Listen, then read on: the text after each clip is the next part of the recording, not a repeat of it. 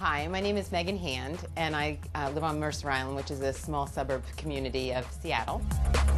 What made me begin with the Art Bus and the whole idea was there was a lack of art education and project-based learning in my school district. To me, I just couldn't get it. I mean, what do you think about a kindergartner not having an art teacher? It makes no sense to me. We had a bus levy pass and there was going to be these buses that were going to be sold and I thought, well, they would make a wonderful art classroom. And that's began the whole journey actually of trying to get a school system to buy into project-based learning, um, which they were actually very open to. Now I'm actually in the fundraising for the actual project. I discovered the contest online while I was surfing the net for grant opportunities. And I think it was almost like divine intervention, really. It popped up and it said, What would you do to make your mark? And I thought, Well, I'm going to tell them about my Art Bus idea.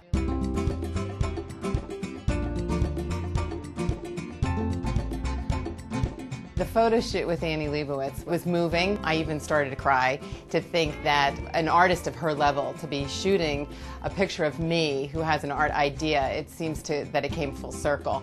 She's a true artist and it was really wonderful to work with her and her whole team. having a corporation like Bayer say, hey, we like your idea, and going back to a community like mine, a small community, it lends a lot of validity to the idea.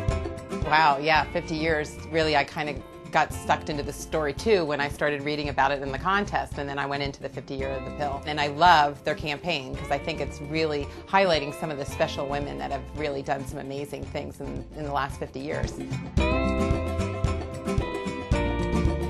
Thanks to Bayer and Daily Candy and everybody there, it's going to be the check that buys the best. So thank you very much. Have a good idea, share it with the world. People want to hear good ideas. People really want to embrace and help out. So that's why I did it. And I'm so glad you guys picked me.